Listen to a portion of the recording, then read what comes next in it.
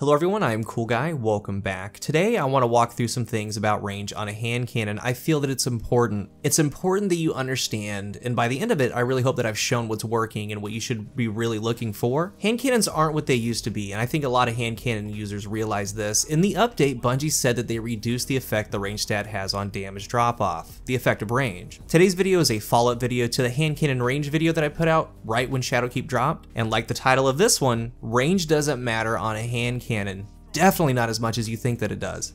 I've seen friends and players and on Twitter, they'll get a roll on a hand cannon and delete them because they don't have the big three. And the big three is a range masterwork, full bore, accurized rounds, or small bore. Basically the best range stats possible. They may have the new Ancient Gospel hand cannon drop from the raid and only get two of the three, or one of the three as far as range perks, and they instantly delete it.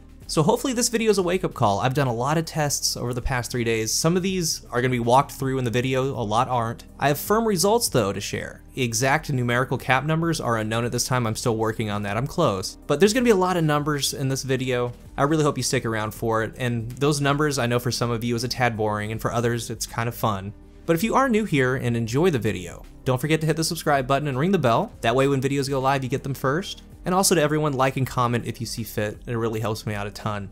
With the information that we know from this video, there are certain things that 100% stand out for range, and that's what's important. All hand cannons got an effective range reduction, 150, 180, 110, 140, all of them. Before Shadowkeep, max range hand cannons were hitting max damage at 33, 34, 35 meters. Think Ace of Spades. The best range perks are max range perks on an Austringer. These were sought after. And if you didn't have those perks, the hand cannons were an almost instant delete, it really was. Low range hand cannons like Midnight Coup were hitting max damage at about 24 meters. So you look pre-nerf, before Shadowkeep, and some hand cannons had a literal 10 meter difference, and sometimes a lot more than that. And remember, Ace and high range hand cannons like the max range Austringer, yeah they started drop off at 34 meters, but the 3 tap distance went up to like 40 meters. With Shadowkeep, that is what changed.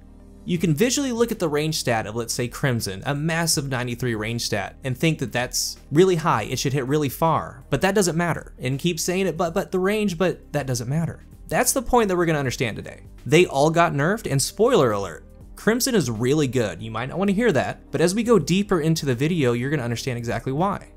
The first thing to know is that there are now caps in place, like old school Destiny 1, and all the veterans will know about that. But in Destiny 2, the stat bar just goes on and on forever, however far it wants. In Destiny 1, there was a limit on range, and that is now in place with this update. So in D2, it's invisible. The base range cap now is 28 meters. We know this because of Ace of Spades. Ace has a range stat of 86, and also because of Sturm. It has a very high range stat, and it also caps at 28 meters. So with that cap for Ace meaning anything over 28 meters, it starts seeing fall off. Within the game, there are no real others that kind of challenge those high stats, so that's going to be the base ceiling, 28 meters.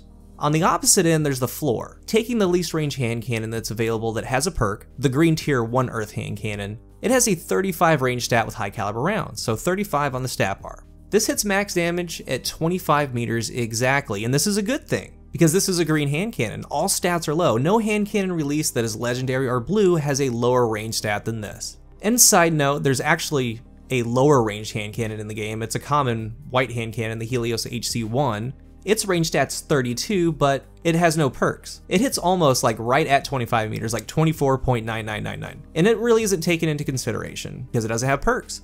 The green 1 Earth is a good base. Nothing released or will be released is going to be lower than the 35 with perks. So this tells us that with the lowest range possible at 35, it hits right at 25 meters. With the highest base range hand cannons like Ace, they hit right at 28 meters.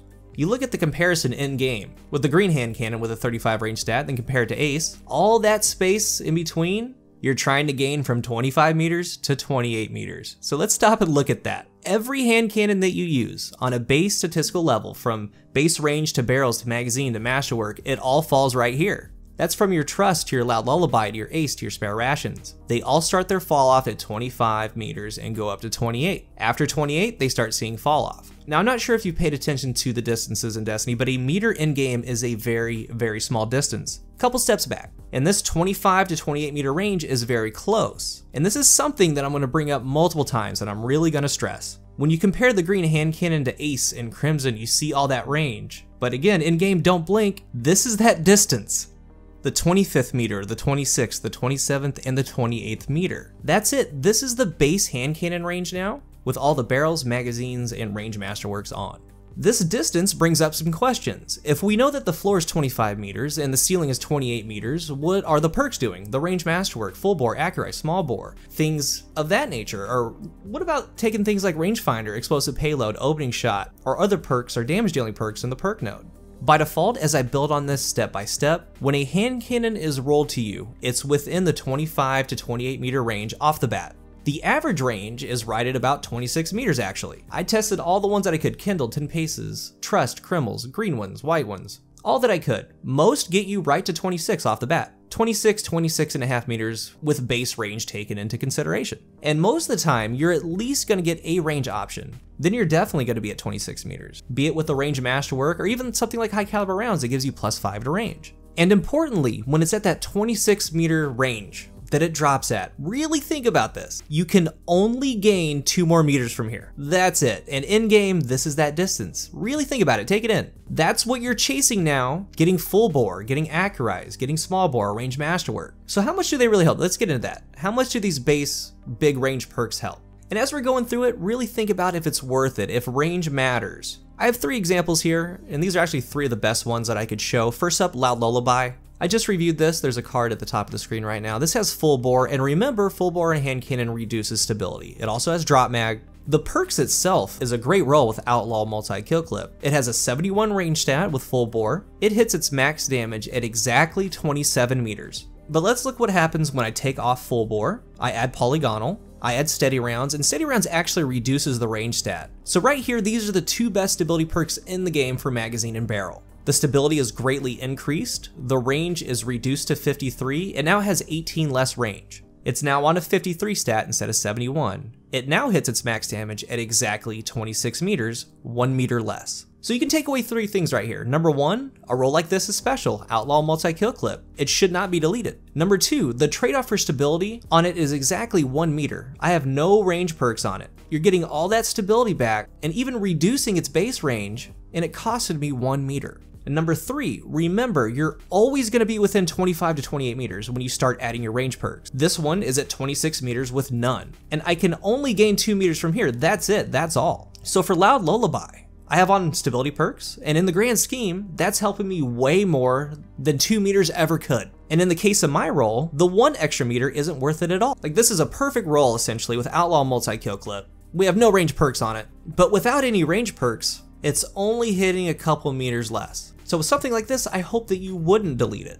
Next, let's take this trust. My PvE trust is Rampage Dragonfly. It has 48 range. And that 48 range is with Corkscrew Rifling. That gives plus 5 to range. No other range perks aside from that. It hits its max damage at 26 meters, then I start having the fall off. The other trust that we're comparing it to is max. We have full bore, accurized rounds, range masterwork, the big three. It also has explosive rounds, and we'll get into that later, they're important. But the big three give it a range stat of 75. It has 27 more range on the stat bar than the other one. It hits its max base critical damage at a whopping 1 meter more at 27 meters. And on a personal note, it kind of tells me that the faster RPMs kind of have a smaller cap, and in this case 27 meters. And again, that's my next goal, to find the actual numerical cap for each archetype on the stat range itself. It does have explosive payload, the bullet does split in two. The max crit is at 27 meters when you start seeing fall off. The test still stands, 27, more range on the stat bar, only adds one more meter. And the last one, the Raid Ancient Gospel. This one shows the high end of range. It has the big three, full bore, accurized, range masterwork. It has a 78 range stat total with all those combined. The most range it could possibly have, period, with the barrel mag and masterwork. This one does hit max damage at 28 meters. It hits the cap right at 28 meters. This is a good hand cannon with slide shot swashbuckler.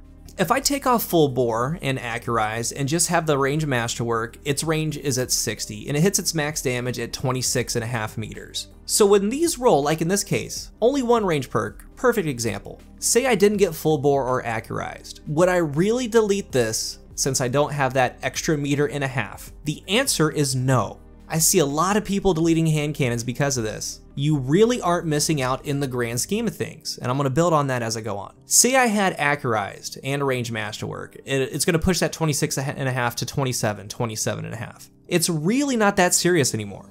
It's not those big 7, 10 meter jumps anymore. At most, now you're chasing 3 meters or so. And even then, 90% of the time, if the hand cannon itself has a nice high base range stat, you're chasing 2 meters at that point with your barrel, your mag, and your masterwork. Because most of the time, the range is high enough and it's sitting right at 26 meters just automatically. All you really need is a range option, like just accurized, just a range masterwork, just small bore. All the other perks should be used to complement after that, fluted for handling, steady rounds, polygonal, because you're not going to dip below 25, and you're not going to gain more than 28 when it comes to those things, that barrel, mag, and masterwork. It's a very limited space the actual range stat is working in. If I had to guess right now, I would say that if your range stat is 45 and above, its starting fall off is going to be at 26 meters. At that point, you can only gain 2 meters from there below 45 on the range stat, and a good example is something like Spare Rations. It has a base range of 39. This is at the floor, it hits max damage 68 at 25 meters. So Spare Rations can use a couple range perks. Range Masterwork, Accurized, but you won't ever get past 28 with the Barrel Mag and Masterwork.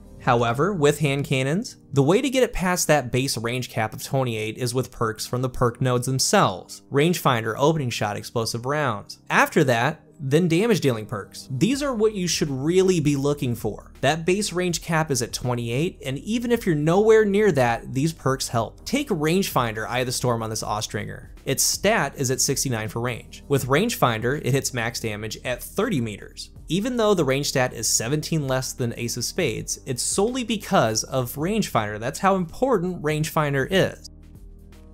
Take these two Better Devils. Both have a range stat of 42. The one without rangefinder hits max damage at 25.5 meters, almost 26 meters. The same range stat, but with rangefinder, hits at 28 meters. You can compare that 42 range stat with rangefinder on the Better Devils all the way to Ancient Gospel that we talked about a moment ago. That has a 78 range stat, max range perks, it has 36 more range on the stat bar, but both hit right at 28 meters. So rangefinder is a way to get it past 28, or significantly bump it up. And if you have a high range stat on let's say an Austringer, it can get up to 30, 31 and a half before you start seeing fall off. Opening shot really helps, explosive payload really helps, damage dealing perks like kill clip, fighting fall off helps. And before the conclusion here, a couple things. I've been talking about damage drop off starting at 25, 28 meters, the floor and ceiling, because that's the main thing I want to drive home this video. Now there is a little room after that for your max 3 shot distance. As an example, if you start seeing fall off at 28 meters, it's going to 3 shot up to 29.5, 30 meters. If the hand cannon starts seeing fall off at 26 meters,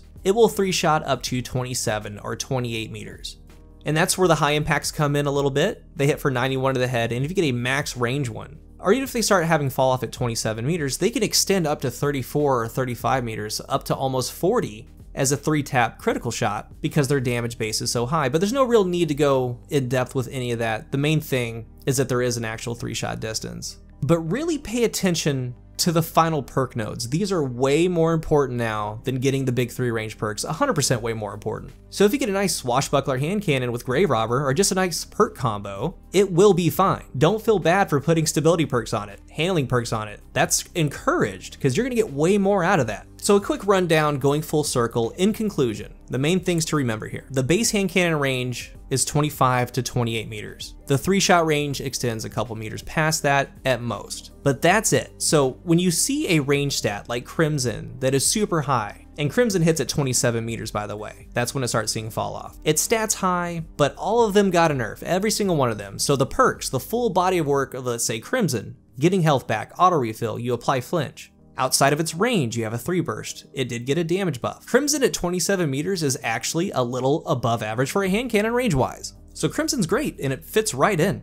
And with things like Crimson and Ace and max range Austringers, you could argue that the higher the range stat, the more aim assist, the better stickiness, the more accuracy you're going to have. That way you're going to hit those shots at a distance and be on your target, which is true, but in practice now, it's not helping. Because that base effective range for all hand cannons now is 25 to 28 meters. That's when you know you're within the range. With fall off in the 3 shot distance, maybe up to 30 31, special cases, maybe up to 35. But your average engagement should be up to 28 30 meters. These have steep fall off. Sure, you can have all that range, but when push comes to shove, you're to be taking 7, 8, 9 shots versus a pulse user or a scout user at like 40 meters. You're not to make it. You're to lose those gunfights now. High range stat or not, all the full bores and accurized rounds in the world won't save you. It's too far for them now. The barrel perks, magazine perks, and masterworks for range really don't matter in the grand scheme of things. That space is way too small now, because again, most are going to drop for you at 26 meters. The big three are only to net you 2 more meters max. So once you're at 26 meters or 25 and a half meters, one of them, like a range masterwork, will get you like a half meter more, three quarters of a meter, or maybe even possibly a meter with something like full bore. Most of the time you're going to be fine, and even without them sometimes, depending on the base range stat. If anything, and I do recommend if it's there, you want one of the three and the others should go into your handling, into your stability, into your reload, things like that. Rangefinder and the ones mentioned earlier can go past that 28 meter cap. Those are the ones that you should really be paying attention to. Those have more weight, aside from the stability perks that you're getting from the magazine and such. So don't destroy a really good hand cannon because you didn't get full bore with accurized rounds, with a range masterwork. Don't do it. It's only ideal now that you get one range option. Because again, you're then starting to chase about 2 meters. It's not worth it. That 25 to 28 meters is very steep, and it's really easy now when you're in a gunfight. There's no in between. When you start taking your shots, you're either in range or you're not. It's very cut and dry. You're gonna find out quickly if you're not. And like I said, all the full bores and accurized rounds in the world, it's not gonna make a world of difference. So I really appreciate you hanging out with me today. I encourage anyone to help if they want. Try to find that numerical cap. And that will be archetype specific as well. And if you're new to the channel, remember to hit the subscribe button. If you are subscribed, I thank you so much for your continued support. We're getting up there close to 100,000 subs. So really think about a roll when it drops. I hope that I've shown that chasing the big three isn't worth it. The range that they give just isn't worth it in the grand scheme. Let's talk about it in the comment section. I tried to explain the best that I could. I hope that it made sense. Thank you for watching, and until the next one, I'm Cool Guy.